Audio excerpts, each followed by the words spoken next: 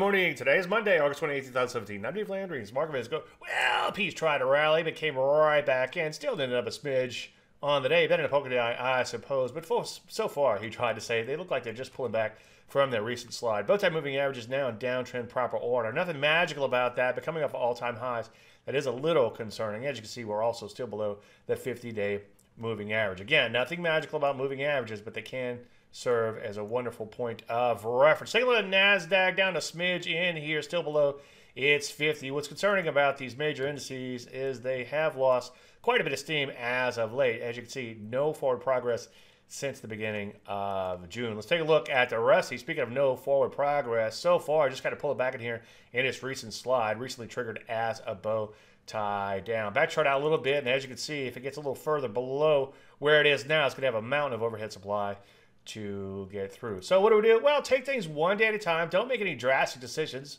But now, you might want to sit on your hands a little bit and be super selective on any new positions. Any questions, as usual, Dave, I'm Dave Landry. You should Mark Bennett.